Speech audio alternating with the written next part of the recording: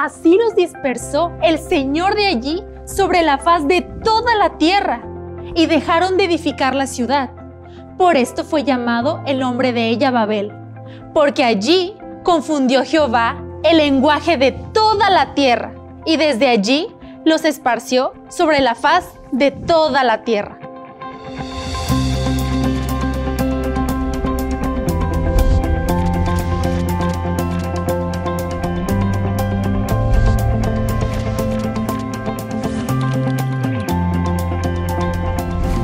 Hola, ¿qué tal? Bienvenidos a un programa más de Escuela Sabática Universitaria. Mi nombre es José Luis Moreno García y el día de hoy tenemos a unos invitados especiales. Díganme, ¿con ustedes cómo comparten el amor de Jesús? Hola, soy Norma Villegas y a mí me gusta identificar la necesidad de las personas y poder suplirla. Hola, ¿qué tal? Yo soy Daniel Gutiérrez y a mí me gusta compartir el amor de Dios atendiendo también las necesidades de los demás. Hola, yo soy Dana Gutiérrez y a mí me gusta compartir el amor de Jesús sirviendo a los demás en lo que pueda. Muy bien, gracias por ese hermoso comentario. Para iniciar, nos gustaría que hacer una oración. Profa Norma, ¿nos hace oración? Con todo gusto, oremos. Padre, te alabamos porque siempre que abrimos tu santa palabra, aprendemos grandes lecciones de vida. Aprendemos de tu infinito amor y aprendemos la garantía que tú nos das de que si creemos en ti, si te aceptamos como nuestro único Salvador, seremos salvos. Guíanos en este estudio, Señor, y que podamos ser aleccionados por tu Santo Espíritu. En el nombre de Cristo Jesús. Amén. Amén. Saben, en el estudio del libro de Génesis ya hemos visto desde la creación hasta Noé. Y es interesante cómo el Señor guió a Noé, salió del arca, y ahora nos vamos a enfocar nuevamente en la después del diluvio, ¿qué ocurrió? Después de que pasó todo eso. Durante el diluvio, cuando salieron, hubo una promesa, hubo una esperanza, pero saben, después de eso, Noé regresó a sus raíces, volvió al pasado, a lo que hacían sus antepasados. ¿Y cómo lo podemos ver? Pues sabemos que él sembró una viña, Comenzó a labrar. Sí. Comenzó a labrar y posteriormente, ¿qué cosa? Fermentó y se embriagó. Sí. La embriaguez de, de Noé no estaba dentro de los planes de Dios. Claro. O sea, no estaba dentro de ese cuadro, pero sin embargo él lo hizo. Y yéndose, vuelvo a regresar, volviendo, ¿qué cosa? Al pasado, volviendo de donde regresó, de donde, de donde iniciamos, volviendo a caer en los mismos vicios anteriores. Pero hay un cuadro que entra más aquí, que es Cam, Su hijo. su hijo. Pasó algo con Cam. Sí, aquí, en, de hecho, en Génesis, el capítulo 9, versículo 22 dice, y Cam, padre de Canaán, vio la desnudez de su padre y lo dijo a sus dos hermanos que estaban afuera. Aquí el vio la desnudez de su padre podría también entenderse, ¿no? Como un vio por accidente, de que iba pasando y se asomó y, ay, vio la desnudez de su padre. Pero aquí te da a entender el versículo que fue un vio de... Intencionado, vio, ajá, ¿no? intencionado. Fue más como observó la, la- la desnudez de su padre y se lo fue a contar a sus hermanos. O sea, no, no se quedó nada más con eso, sino fue a- se fue a burlar de su papá con sus hermanos. Yo creo que si hubiera sido en nuestros días, es como que él hubiera publicado en sus redes sociales con un Mm, hashtag sí, sí, vergüenza de papá y miren lo que me pasó, en lugar de con amor ir, cubrirlo, protegerlo, se burla, ¿no? Es algo muy triste y, y usa la palabra de ver, eh, esa que nos leyó Dana, es la misma que está en Génesis 3.6, donde dice, al ver la mujer que el árbol era bueno para comer, agradable a los ojos y deseable para alcanzar la sabiduría, tomó de su fruto y comió, y sigue el versículo. Entonces no es nada más que vio por accidente, que pasó, Sí. vio y siguió, sino que se quedó, vio, contempló y entonces se burla, lo deshonró. Así es, lo deshonró. La deshonra que la lección di- está mencionando es que deshonró a su padre. Lejos de ayudar, lejos de hacer algo por él, lo deshonró. Y ahí viene una maldición, porque podemos ver que lo que dijo Noé fue, cuando se enteró, pasó la embriaguez, maldijo a su hijo. Pero ¿a qué tipo de maldición se está refiriendo? Nos ayudan buscando el libro de Efesios. Mira, este, esta mm, acción tiene muchísima trascendencia. Tanto así que, por ejemplo, el apóstol, así como lo mencionas, eh, lo, lo puntualiza en Efesios 6.2, dice, honra a tu padre y a tu madre, que es el primer mandamiento con promesa. De los diez mandamientos que Dios le dio a su pueblo, uno de ellos tenía que ver con la honra al Padre. Claro, Y es algo que no solamente le iba a afectar a Cam, o sea, era algo que iba a afectar a Cam y al resto de su El descendencia. resto de su descendencia. sí, y fue lo que realmente enfatizó, o sea, cuando Noé se levanta, se da cuenta de esto, dice, ¿sabes qué? Bendijo a sus otros hijos y le dijo, tú serás siervo. Maldijo a su hijo. ¿Por qué? Por la deshonra que él hizo a sus padres. Y a veces nos preguntamos, estaba platicando hace ratito, ¿por qué la, por qué la maldición? ¿Por qué Noé tuvo la facultad de, de maldecir? Pero es que la maldición viene por la desobediencia. Es. Este, sabemos que la maldición a la tierra vino por la desobediencia. La maldición de Cam vino por la deshonra de su padre, que fue la desobediencia a él mismo, porque se burló de él. Así es. Es algo bien interesante que, que menciona la lección o, o- o que, o que podemos aprender en, esta, en este estudio. Y hay que tener cuidado porque hay personas que justificaban el hecho de esta maldición de Cam porque se cree que de Cam desciende la, la- la gente de color.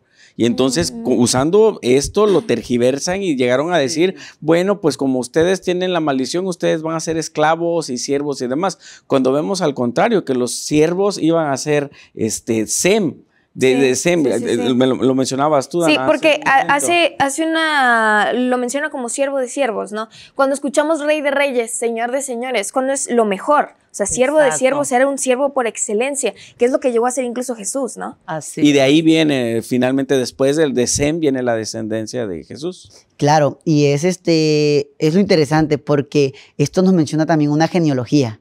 Después de la maldición vino una genealogía, mostrándonos cómo desde la genealogía de Sem Ujú. llega qué cosa? A Jesús. a Jesús. Es interesante cuando nosotros analizamos, cuando vamos este, aprendiendo de ello, vemos que todo se va conectando. Siervo de siervo. ¿Y quién fue el siervo de siervo? Jesús. Jesús. O sea, después de la maldición viene una promesa.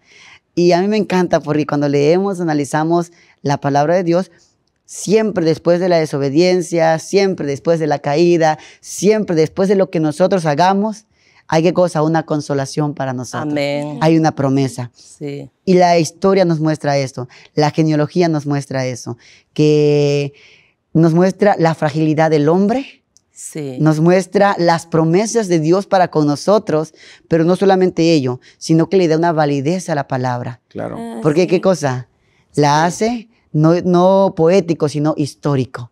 Y desde el principio, cuando Dios nos pone, pone ante nosotros, ¿verdad?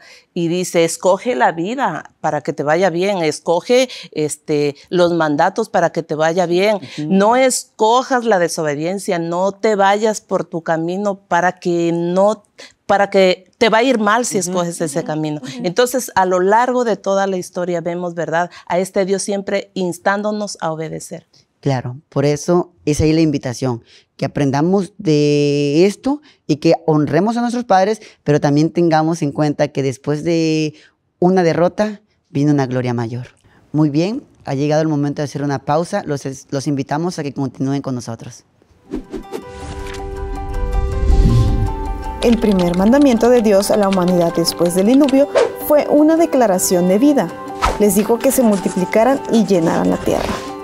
El enfoque de esta lección será confrontar el intento humano de cumplir con este mandato. Hasta ahora, el relato bíblico tenía que ver con personas individuales, Adán y Eva, Caín y Abel, Set y Noé.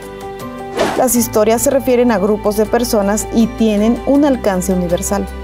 Los sobrevivientes del diluvio, los tres hijos de Noé, generarán tres ramas de la raza humana que constituirán las naciones del mundo. Al parecer, la humanidad estaba bien encaminada para llenar la tierra y llevar la imagen de Dios hasta los confines de la tierra.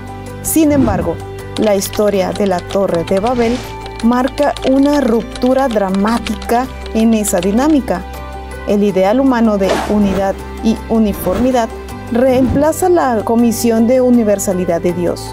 Los seres humanos quieren ser uno y peor aún, quieren ser Dios.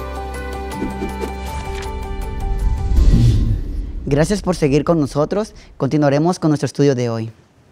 Saben, como pudimos ver, regresamos a la maldición de Cam, todo lo que pasó. Ahora de que todo eso pasó, el pueblo empieza a crecer, Sí. empieza a multiplicarse, a ser una nación más grande. Y es algo interesante porque después que crecen, vuelve a venir la rebeldía. Es como que el ser humano, una vez que pecó, tiene ese constante. Crecemos y nos rebelamos, nos creemos autosuficientes. Y en esta vez lo vemos con la construcción de la Torre de Babel. Este, menciona el estudio que cuando la, la población estaba teniendo una sola lengua, y la facilidad de tener una sola lengua es que te puedes comunicar mejor.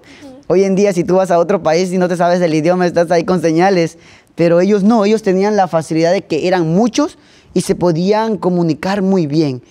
Y la Biblia lo, lo registra en el libro de Génesis, en el capítulo 11, en el verso 1. ¿Alguien me podría ayudar dándole lectura?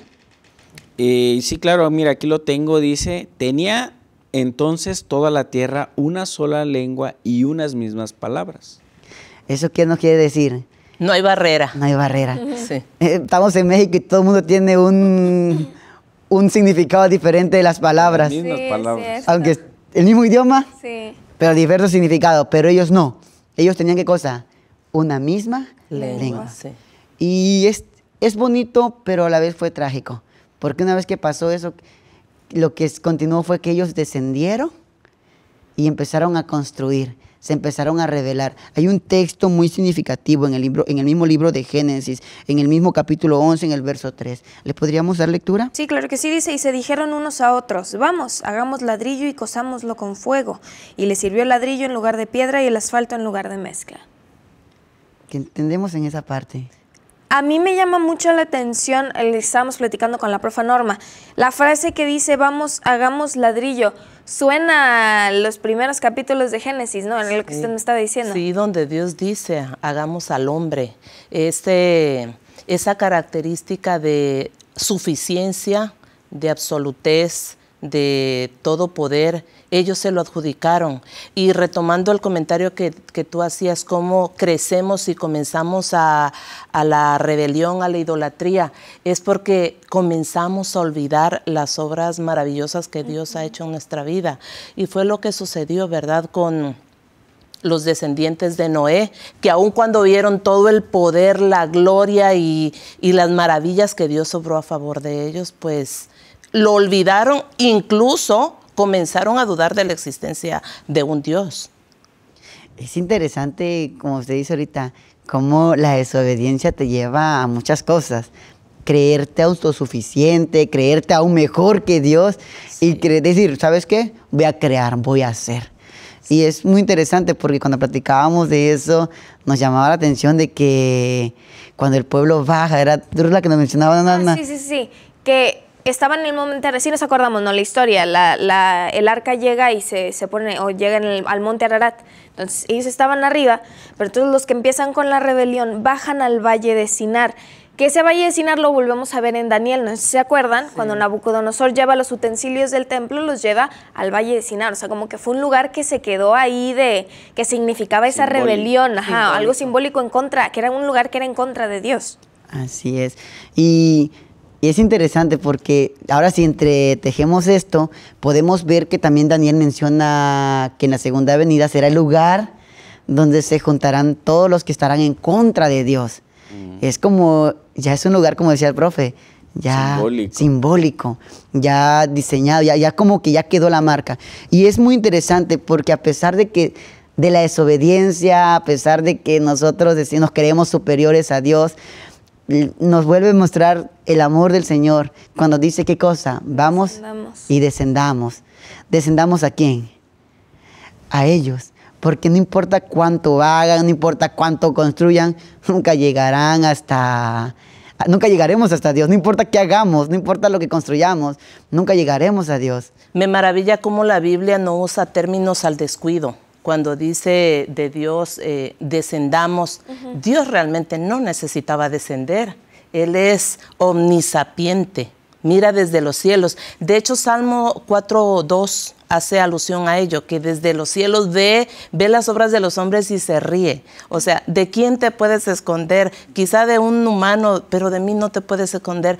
Pero el término descender nos revela ese amor de Dios que siempre está descendiendo para buscar al hombre, a pesar de que cae. Fíjese que eso es, es muy interesante porque también eso nos da, nos muestra que la justificación por la fe no es por nosotros, Exacto. sino por quién? Por la gracia de Dios. Por la gracia. ¿Quién es el que desciende siempre por los hombres? Dios. Pero ¿quiénes somos los que creamos la, nuestra propia Babel? Somos nosotros. Babel, ¿Qué significa, pastor? Fíjese que Babel significa puerta de Dios. Ok.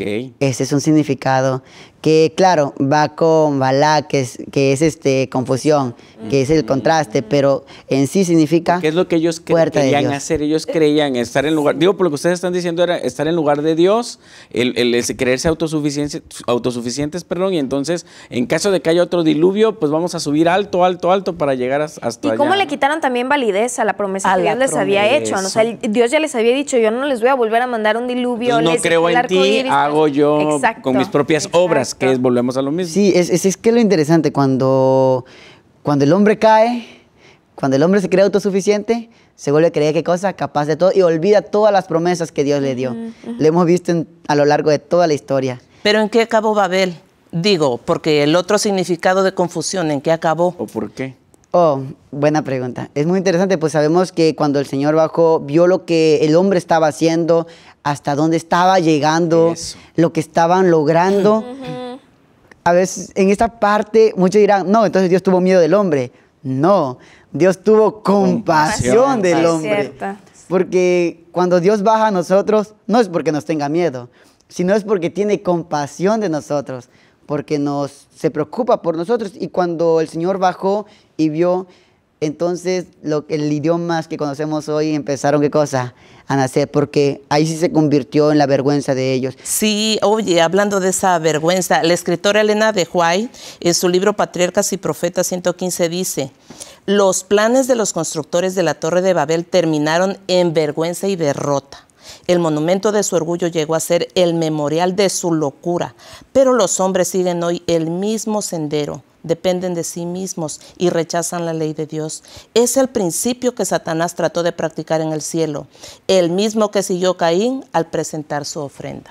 Claro que sí. Ahora vamos a preguntar al experto qué nos puede decir. La siguiente pregunta es, ¿cómo podemos evitar el peligro de incluso inconscientemente buscar construir nuestra propia torre de Babel? ¿De qué modo podríamos estar buscando hacer esto incluso inadvertidamente? La Torre de Babel tiene una gran cantidad de enseñanzas para cada uno de nosotros, porque a veces corremos el peligro de hacer lo mismo que hicieron todas estas personas que estaban justamente construyendo la torre. ¿Cuál era el gran problema de ellos? El gran problema de ellos es desconfiar de lo que Dios ha dicho. Si Dios dijo que ya no iba a traer más diluvio, si Dios dijo que ya no iba a volver a destruir a la raza humana, ¿por qué el ser humano siguió desconfiando de lo que Dios dijo? Bueno, me parece que aquí el gran asunto es que cuando nosotros no conocemos a Dios, entonces desconfiamos de Él. Y una de las cosas que justamente hacen todas las personas que están construyendo la Torre de Babel es que no conocen a Dios, por lo tanto, si no conocen a Dios, no van a creer lo que Dios dice. Y cuando una persona no cree lo que Dios ha dicho, entonces surge otra palabra que es desconfianza. Y la desconfianza hace que pongas interrogantes en lo que esa persona dice, aunque conoces que lo dice, pero ahora el gran interrogante es, ¿será que va a cumplir lo que él ha dicho? Bueno, Dios había dicho, no más, no más aguas, no voy a destruir este mundo con agua. Eso ya era claro. Pero las personas dijeron, ¿y qué tal si Dios no dijo la verdad? Bueno, nosotros a veces también podemos desconfiar de Dios, ese es el gran problema del ser humano. Entonces, cuando nosotros desconfiamos de Dios, entonces empezamos a tratar de buscar respuestas múltiples para tratar de explicarnos las cosas que aparentemente Dios ha dicho y que nosotros no logramos entender. Por ejemplo, Dios dijo, no va a haber más diluvio. Nosotros decimos, a ver, ¿por qué no va a haber más diluvio? ¿Y qué tal si mejor hagamos una torre y asegurémonos de que nosotros vamos a vivir por siempre. Nosotros, nosotros en nuestros días encontramos algunas cosas semejantes de personas que quieren ir y habitar en Marte y quieren ir a habitar en otros lugares por no confiar en que Dios ha provisto todo para la salvación del ser humano. Confiemos en Dios. conozcámoslo y les aseguro, la pasaremos muy bien. Agradecemos al pastor López por excelente respuesta a esa pregunta. Y continuando con esa respuesta, es importante ver cómo cuando el pueblo empieza a dudar de Dios, se empieza a alejar de Él, ¿qué cosa? Empiezan a hacer cosas que van fuera de los contrastes de los planes de Dios. Los de Babel empezaron a hacer eso, empezaron a creerse superiores y podemos ver que en su superioridad se alejaron de Dios. Y es muy notorio eso. Sí, estaban desconfiando, pero a mí me parece muy bonito como siempre hay un remanente, ¿no? Siempre en cada grupo queda un remanente que todavía confía, que todavía cree. Y gracias a esos que todavía confiaban en Dios, es que ellos tienen, como tú estabas diciendo, ¿no? esa bendición que parecía, para, que para ellos fue algo malo, en realidad fue esa compasión y misericordia de Dios de, de la confusión para poderlos separar. Claro, la confusión, lejos de ser este, una desdicha, fue una bendición. Muchas veces nosotros creemos que las cosas que ocurren siempre son para mal, pero se nos olvida que a veces lo que Dios hace es por el bien para nosotros, porque nos ama. Podemos ver que descendió, nos vio nuestra, nuestro problema y vio la maldad que estaba creciendo en el hombre, que dijo, confundamos al hombre. Pero fue por amor a nosotros, porque ellos ya habían dicho, vamos a ponernos un nombre. O sea, ya el nombre Babel, puerta de Dios, o sea, nos estamos creyendo superiores a Dios. Ya hago lo que Dios hace. Y a veces en el nombre es porque me quiero dar autoridad. Sí, aquí quisiera yo resaltar justo ese, ese texto, es el versículo 4 del capítulo 11, dice, después dijeron, vamos, edifiquémonos una ciudad y una torre cuya cúspide llegue al cielo, y hagámonos un nombre por si fuéramos esparcidos sobre la faz de toda la tierra. Ese de hacerse un nombre es, es, es curioso porque hay un texto en Isaías capítulo 63, versículo 14, que dice, el Espíritu de Jehová los pasto- pastoreó como a una bestia que desciende al valle. Así pastoreaste a tu pueblo para hacerte un nombre glorioso. Hacerse un nombre es una característica de Dios, es una característica, porque solo a Él le corresponde la gloria y la honra. Entonces, hacerse un nombre es quererse hacer notar el que, y, nos, y todos tenemos ese, esa tentación, todos, todos, es una tentación muy humana el querer que, que mi nombre, mi reputación, que yo tenga más followers, que yo tenga fama, fortuna, y, y hay que tener mucho cuidado, eso está muy de moda, buscar eh, eh, la- la- el reconocimiento de las personas. Nos medimos muchas veces por cuántos, cuántos seguidores tenemos en nuestras redes sociales o así, y hay que tener cuidado porque no- eso no nos debe separar de Dios, lo importante es que la honra y la gloria solo le pertenecen E a Dios. incluso en servicios que son para, para Dios, ¿no? Cuando tenemos, Claro. no sé, que, que tengo algún ministerio, pero yo quiero tener el, recon- yo quiero tener el reconocimiento, ¿no? Se me Ah. olvida que la gloria en realidad, o sea, yo el ministerio que tengo es para Dios y para servir a los demás, no para que me reconozcan a mí. Y, y el problema muy grave de eso es que cuando uno recibe el reconocimiento no le llega a Dios. Entonces, si a uno le dan el reconocimiento, por eso a mí me enseñaron muy pronto, cuando alguien te diga, oye, qué bien, no sé, tocas el piano, haces esto, siempre gloria a Dios. Porque si no, entonces si yo digo gracias, la gloria me la estoy guardando yo y no se la dan y no glorifican a nuestro Padre que está en los cielos. ¿Recuerdan ese texto? Y, es que él es el cuidado. que provee. La cita que, que mencionó, que mencionó, este, habla de la bondad de Dios para con Israel. Anteriormente dice en el verso 12, el que los guió por la diestra de Moisés con el brazo de su gloria, el que dividió las aguas delante de ellos, haciéndose así un nombre eterno. Ah. que es esta, esta declaración nos revela que Él es el único que, que puede hacerse de un hombre eterno. Y nosotros como sus hijos, como sus siervos, sus seguidores, pues también nos adjudicamos ese nombre, pero así como Pero- dice Daniel, dándole toda la honra a Él. Sí, y es que es interesante. Cuando nosotros nos damos la gloria, el ego crece. Claro. Y cuando el ego crece, nos creemos superiores. Ya no necesitas a Dios. Ajá, y eso es un problema. Cuando tú te alejas de Dios y empiezas a creerte superior a Dios, pues automáticamente pierdes la, la bondad de tener a Dios. Y muchas veces puedes estar sirviéndole a Dios. Y es una necedad, este, disculpa que te interrumpa, porque mira, tu trascendencia es limitada. Ahí tenemos a un, a un Lot, Este, una trascendencia pues temporal, pero ahí tenemos a un Abraham, por ejemplo, una trascendencia que ha, ha, este, superado generaciones y hasta la eternidad.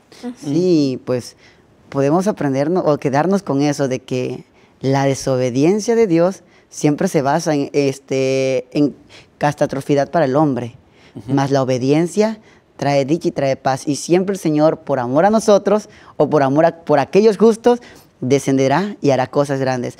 Yo quiero preguntar, ¿con qué se quedan ustedes de, esta, de este estudio? Pues eh, si realmente quiero trascender, debo adjudicarme el nombre de Cristo Jesús.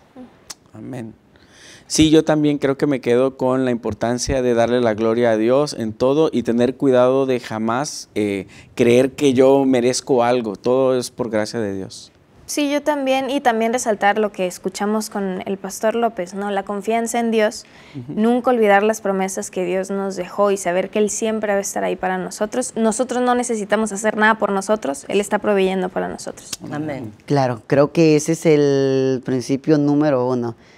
Todo lo, lo que la enseñanza de, esta, de este estudio fue eso, mostrarnos que la gloria le pertenece a Dios, mostrarnos que debemos estar arraigados de Él, que un solo minuto separados de Él puede traer grandes desdichas para el hombre o para nosotros. Todos en la historia, tanto antigua como en la personal, hemos visto que separarnos de Dios nos ha traído el fracaso. Creo que eso es una lección que cada persona se debe quedar en su corazón. Quiero dejarlos con el siguiente pensamiento que se encuentra en el libro de Eventos de los Últimos Días, escrito por Elerna Harmon de Guay que dice, no tenemos nada que temer al futuro, al menos que olvidemos cómo Dios nos ha guiado en nuestra historia pasada. No tenemos que temer al futuro. Dios tiene preparado ese glorioso futuro para ti y para mí. Así que caminemos firme, caminemos confiado de que Él pronto volverá. Gracias por acompañarnos y los invitamos en nuestros siguientes programas de Escuela Sabática Universitario.